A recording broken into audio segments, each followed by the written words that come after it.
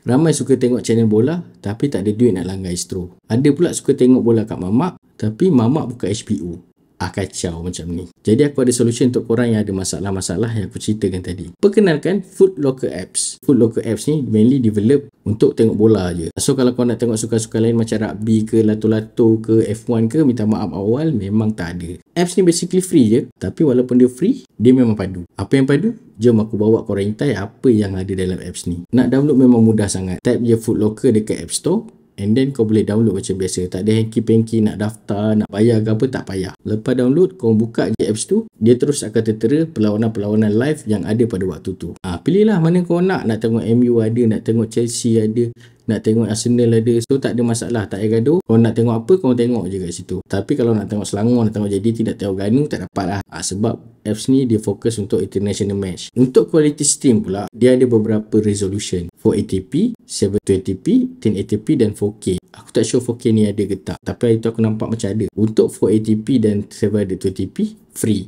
Tak ada masalah. Tapi untuk 1080p above, ha, dia dah start bayar 720p yang free ni pun bukan calang-calang juga. Bila aku tengok dekat laptop dengan handphone tak ada masalah pun. Tak ada pun nampak pecah-pecah. Dia nampak pixelated sikit kalau kau buka apps ni dekat TV 40 inci atau 50 inci. Tu pun tak ada masalah lagi. Aku boleh je nampak player apa yang tengah pegang bola player apa yang tengah shoot player apa yang tengah passing. So tak ada masalah langsung dekat situ. Dan satu lagi ciri-ciri penting yang ada dalam football streaming apps Footlocker ni adalah dia punya server performance. Kalau tengok HD sekalipun kalau sekat nak buat apa tu tak Aku dah pakai seminggu tengok lebih kurang 5 game. Aku langsung tak jumpa satu game pun yang lag ataupun buffering. Memang smooth sebiji macam Astro. Lepas tu aku perasan kan yang bagusnya kan. Bila internet kau slow, dia akan terus adjust dia punya quality. So tak adalah kau lag. Kau cuma nampak quality tu makin teruk tapi kau still nampak game tu bermain macam biasa. Lepas tu dia ada backup server lagi. So kalau tiba-tiba satu server yang kau tengah tengok tu down, kau orang boleh je terus switch dekat server lain dan layan bola macam biasa. Ha, boleh kata performance server dia aku bagi 10 per 10 lah. Pada kau nak tahu, apps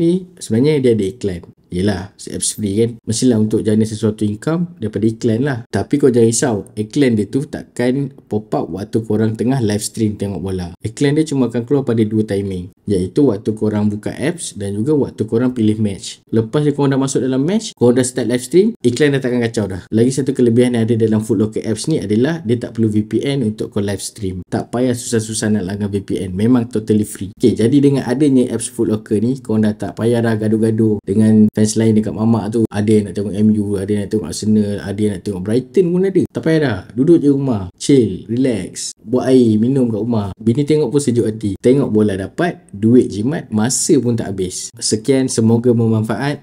Bye